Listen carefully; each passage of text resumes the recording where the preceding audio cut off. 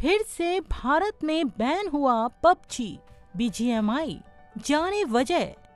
2020 में जब भारत सरकार ने 117 चीनी ऐप को बैन किया था तो उसमें लोकप्रिय वीडियो गेम पबजी भी शामिल था। मगर बैन के कुछ ही महीने बाद PUBG battle ground mobile India नाम से फिर से भारत में वापस आ गया था। इसके बाद से ही इस गेम ने खूब लोकप्रियता बटोरी थी। सब कुछ अच्छा चल रहा था कि अचानक 29 जुलाई 2022 को फिर से प्ले स्टोर और एप्पल ऐप स्टोर से बैटल ग्राउंड मोबाइल इंडिया यानी बीजीएमआई गेम को हटा दिया गया है। तो क्या फिर से भारत में पबजी बैन हो गया है? और गेम को इन ऐप स्टोर से हटाने की असल वजह क्या है? चलिए जानते हैं सब कुछ इस वीडियो में आगे। लेकिन आगे बढ़ने से पहले जल्दी से इस चैनल को सब्सक्राइब कर लीजिए और हमारे लेटेस्ट वीडियोस की जानकारी के लिए इस चैनल को सब्सक्राइब करने के बाद बेल आइकन भी दबा लीजिए।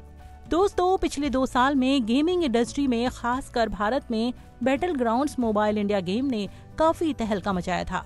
अब भी इस गेम की लोकप्रियता बनी हुई है।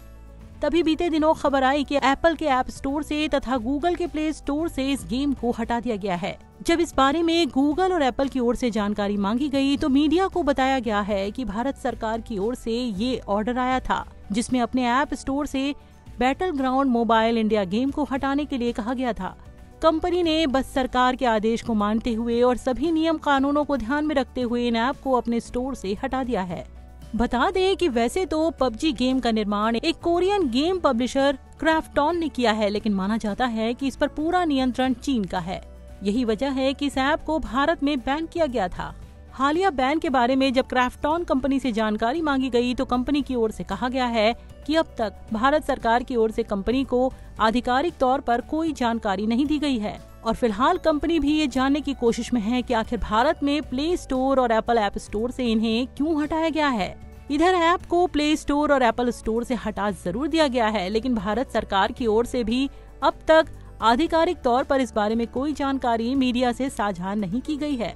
ऐसे में इन ऐप के बैन होने की असल वजह क्या है, वो तो सरकार द्वारा दी गई जानकारी के बाद ही साफ़ हो पाएगा। वैसे बीते दिनों संसद में भी आवाज़ उठी थी कि जिन ऐप को बैन किया गया है, वो नए नाम से फिर से अपनी पुरानी कार्य प्रणाली के आधार पर ही भारत में काम कर रहे हैं। ऐसे में उस पर कार्रवाई क्यों नहीं हो रही है, इन्हीं सब शिकायत को देखते हुए शायद आईटी मिनिस्ट्री के आदेश पर फिर से बीजीएमआई को बैन किया गया है।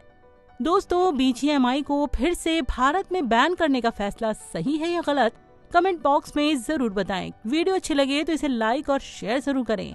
ऐसी अमेजिंग जानकारी के लिए इस चैनल को सब्सक्राइब करने के बाद हमारे लेटेस्ट वीडियोस की जानकारी के लिए बेल आइकन दबा लें और हमारे साथ जुड़े रहें। धन्यवाद।